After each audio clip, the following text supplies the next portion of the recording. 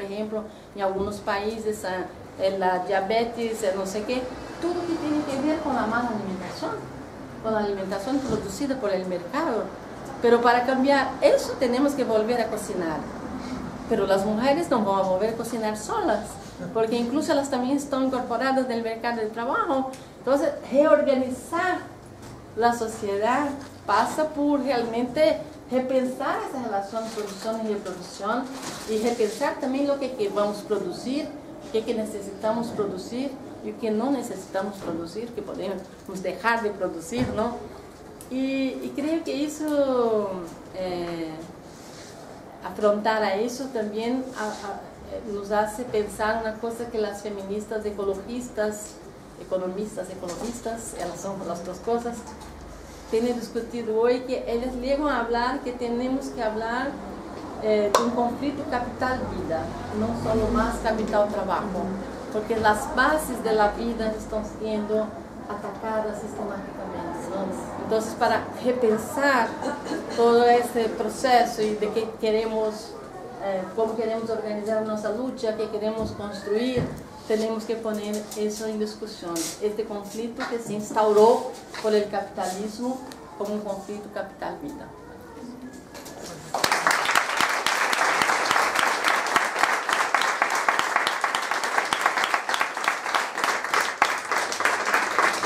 Yo estoy con doble tarea. Quiero hacer unos comentarios, pero antes de decir que como eh, cuando pensamos este encuentro con la Fundación Rosa Luxemburgo y con Tierra Violeta y Pañuelos de Rebeldía, la idea era que durante el mes de marzo podamos hacer una serie de encuentros y de diálogos, decir que los jueves, a partir del jueves 9 de marzo, vamos a estar acá, eh, después a quien le interese ya daremos más elementos para eh, compartir cómo, cómo hacer ese seminario. Y que vamos a pasar una... ¿Cómo? Por ahí está eh, eso. Eh, un, sí, para firmar y que pongan los datos para también poder registrar eh, quienes están interesados en participar. Eso es mi función de coordinar, anunciar y Pero quería también dar algunas opiniones. voy a tratar de ser breve para que nos quede tiempo de diálogo. algunas que tienen que ver con temas de la biografía de Rosa y de sus aportes. Eh, algunas las dijo ya por suerte Alba, así que me ahorra.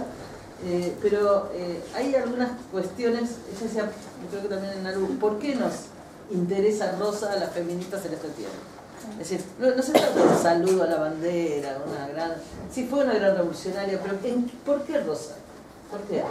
Y yo a veces lo pensaba y sugiero para, que, para el diálogo algunas pistas. Eh, a mí me parece que el hecho de que Rosa eh, sea mujer, por supuesto, y que haya tenido una lucha como mujer socialista, como mujer socialista eh, con nuestras características, bueno, significa una biografía especial de donde, para quienes creemos que lo personal es político, lo que ella tuvo que hacer para poder ser esa mujer revolucionaria, dirigente que fue, nos trae muchos elementos para pensar. Acá se mencionaron algunos, se decía, bueno, eh, es el tema de la autonomía desde muy joven, pero nació en Polonia, nació en Polonia que está ocupada. Y yo creo que para nuestros pueblos, eh, que están en una lucha que es anticapitalista y antipatriarcal, pero también anticolonial, conocer lo que significó para Rosa crecer en una eh, Polonia ocupada, donde la escuela, por ejemplo, nos obligaban a hablar el idioma del ocupante, nos puede hacer pensar algunas relaciones con los pueblos que en estos eh, territorios han vivido o viven todavía obligados a ir a escuelas donde sus lenguas no son eh, reconocidas. La forma de rebeldía que tenía como estudiantes secundarios los jóvenes polacos era el hablar en polaco, que estaba prohibido y por eso los castigaban. Y por eso no le ponían determinado puntaje, que era una gente brillante, porque desafiaba como joven, adolescente y joven, en su colegio, con las agrupaciones clandestinas de los estudiantes secundarios polacos a ese poder opresor eh, ruso. Ella tuvo que salir porque fue perseguida muy joven, eso ya se dijo, y fue a vivir a Zurich y después fue a vivir a Alemania. Fue una mujer migrante. ¿eh? Tuvo que enfrentar la cultura en otro país, una cultura diferente, un lenguaje diferente. Tuvo que estudiar en una universidad con otra, que tenía otra lengua, ¿sí? que no era su lengua originaria. Y, pongo esto con fuerza porque son temas que hoy están muy actuales en nuestros eh, desafíos. Estudiar en, un, estudiar en Zurich porque no había universidades en otros países, incluso de Europa, que aceptaran a las mujeres. Ella tuvo que pensar esa realidad cuando eligió ir a Zurich. Y ella quería estudiar biología, un detallecito. Fue el tal Leo el que dijo, no, biología, que las plantitas. Tiene que estudiar economía, que es algo más serio para los marxistas. Pero Rosa tiene un amor infinito por la naturaleza.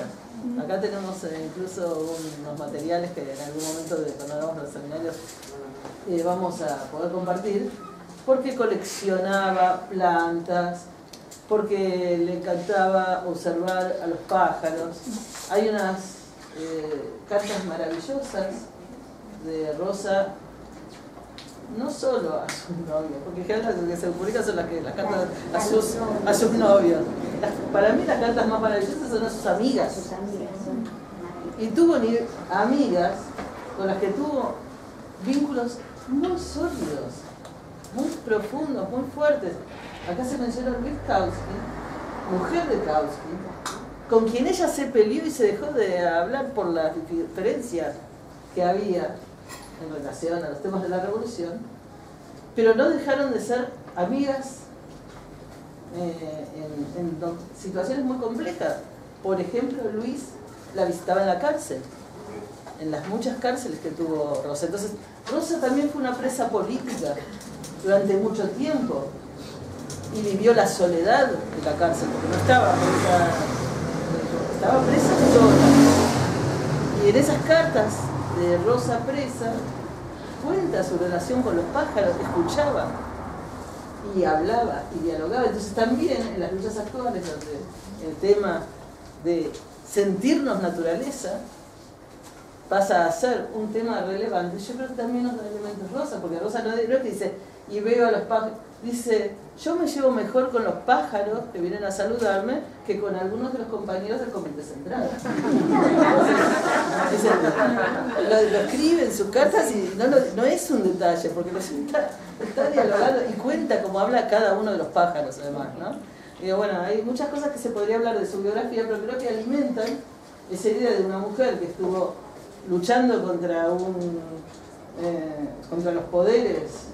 Eh, sí, primero de, los estados opresores, eh, después dentro de sus organizaciones, las que eligió y en las que seguía, porque ella rompe cuando ya siente que no hay ninguna posibilidad de continuar. Entonces también la rosa luchadora por la paz, junto con Clara, se mencionó, es otro tema. Porque cuando se aprueban los créditos de guerra, que es una traición de la socialdemocracia a la lucha internacionalista, porque, y que incluso se lo reprocha también Lenin, a la socialdemocracia alemana, porque no esperaba Lenin que la socialdemocracia alemana fuera eh, a, llamar a su gente para la guerra. Entonces, es ese momento cuando Rosa con Clara convocan a la conferencia de mujeres eh, socialistas, que no solo hablan en contra, reúnen a las mujeres para pronunciarse contra la guerra, a las mujeres de los partidos que habían votado los créditos de guerra y las convocan a juntarse y a pronunciarse contra la guerra. Y cuando ella está yendo a esa conferencia, cae presa. No cae presa también. Es una de las presiones fuertes, porque cae por estar convocando a una acción de mujeres que se enfrentan a la posibilidad de marchar a la guerra. Entonces digo, hay muchos elementos que me parece, desde esa perspectiva que tenemos que retomar, eh, y esto también que se decía eh, tiene que ver, o sea, la, la posición en relación a la paz es también una relación con el internacionalismo. Un tema muy importante porque eh, el tema del internacionalismo tuvo varios momentos en la vida de Rosa muy importantes. Y uno fue antes de esto, de la guerra, en la discusión sobre la revolución. Porque, claro, cuando empiezan todos los procesos, pensemos que la revolución rusa es la primera de 1905. Y ahí ya hay un debate muy grande entre los polacos del partido sobre cómo participar de esa revolución o no participar. O si en el medio de esa revolución había que separarse eh, de la Rusia de la, que las oprimía. Y ella hace un debate muy difícil, muy complejo, para plantear que tienen que ser parte de la revolución rusa desde una posición internacionalista. Digo, muy complejo porque va en contra de las posibilidades eh, que les da a una izquierda polaca eh, hacerse fuerte en el nacionalismo. digo, piensen, un país oprimido, una izquierda ahí, dicen, podemos eh, autonomizarnos, es el momento nuestro, levantan el nacionalismo polaco y ella dice no.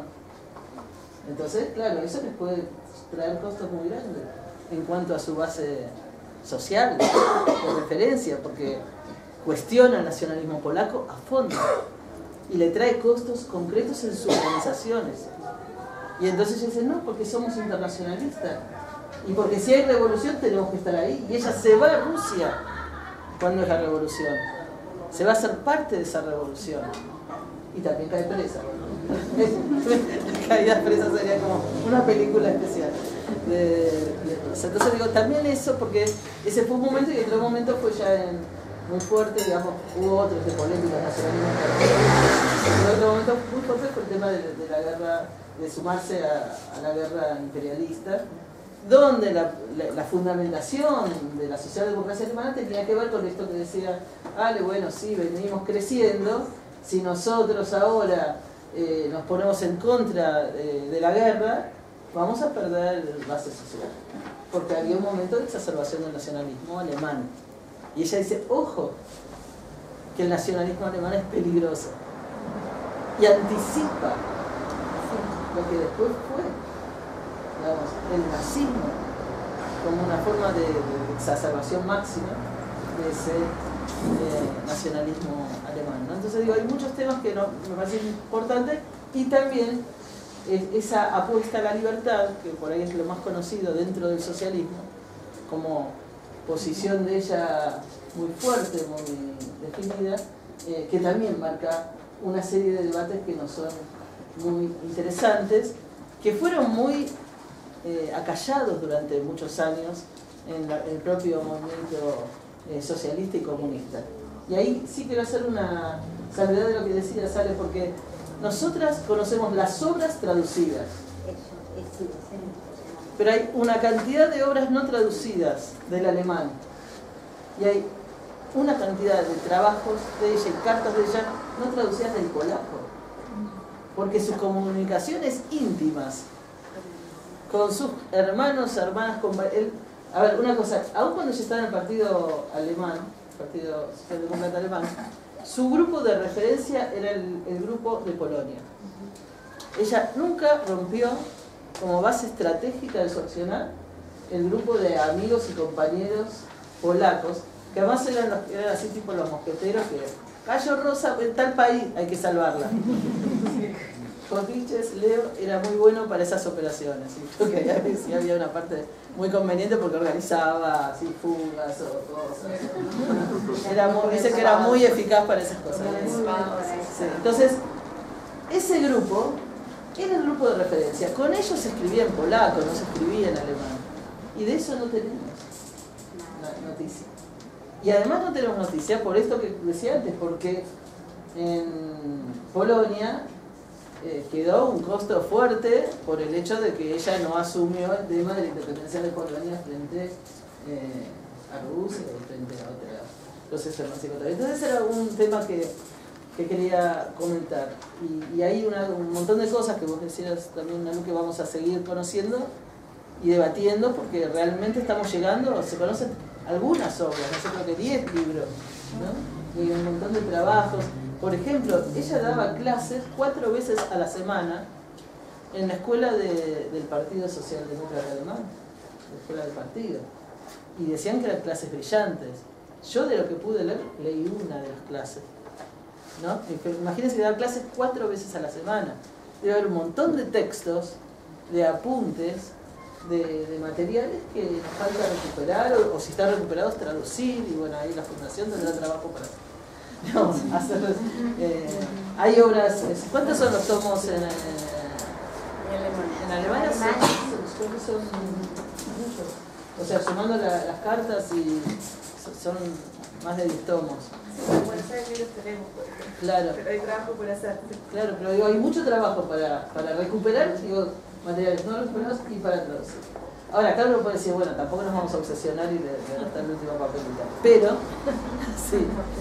Pero tal vez sí nos obsesionamos. sí. Pero sí, digo, me parece que por acá hay una serie de, de, aspectos para, para marcar de lo que nos falta cuando hace reflexión. También eh, reforzando esto que decía Nalu sobre su libertad personal en las relaciones eh, y en esto que, por ejemplo, eran sus novios más jóvenes en la mayoría de los casos, uno de sus novios era fue el hijo de Clara Zetkin.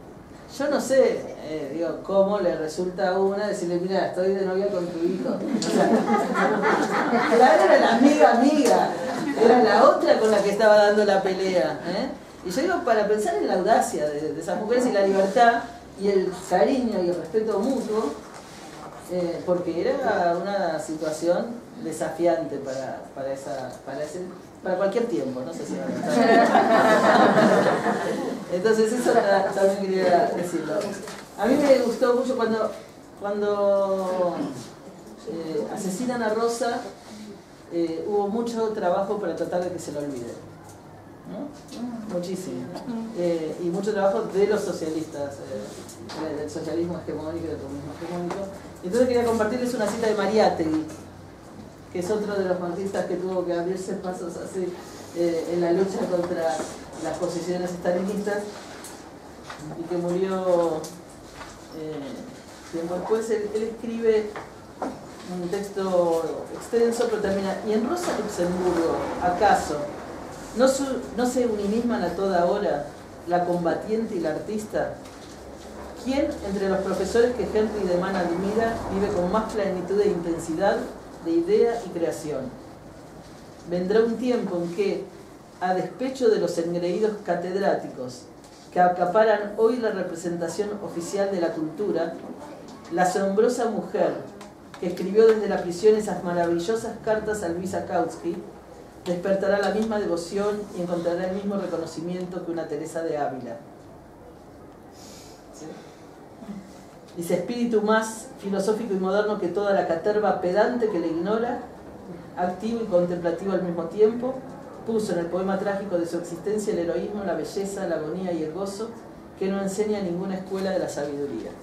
Pero me parece que también a mí me parecía interesante traer esta, esta forma de valoración de un marxista latinoamericano que abrió camino al pensamiento latinoamericano, eh, al pensamiento marxista en este continente y que así se identificó, y yo creo que por estas cosas que decía un poco antes sobre con la, con la propia vida eh, de Rosa. Bien, dicho esto, bueno, todavía una cosita más y después otra, dos más, para leer Una, eh, sobre, porque yo le estaba escribiendo un artículo para que me habían pedido y mi hija me decía, ay, sos muy optimista. ¿no? Yo, le yo me deprimo porque. Si, tu hija te dice que es demasiado optimista. es que hay una percepción de que la cosa viene medio mal, ¿no? y lo pedí porque soy muy optimista. Entonces eh, ahí me puse a discutir, no, no es que sea medio, medio optimista, sino que que, bueno, que hay que poner una posición incluso frente a las derrotas. La dignidad vale, ¿no? Entonces, claro. ¿Qué te pasa? Entonces a mí me pareció muy interesante compartir con ustedes este texto que ella escribe un día antes de que la asesine. Derrotada la revolución alemana. Y a mí me parece también muy interesante porque hace, es como Ella nace en el mes de la Comuna de París. ¿no? Un poco. Mayo Ma- un- dos meses antes. Dos meses. Sí, o sea, nace para ahí. Y la asesinan eh, en el 19, después de la derrota de, de la Revolución Alemana. Y entonces ella, en una parte en el todo, dice así. ¿Cómo no pensar aquí en la borrachera de victoria de la jauría que impuso el orden en París, en la bacanal de la burguesía sobre los cadáveres de los luchadores de la comuna? A mí me daba ese frío, escalofrío, porque decía, estaba pensando más o menos en el tiempo en el que, en que nació cuando escribe este texto.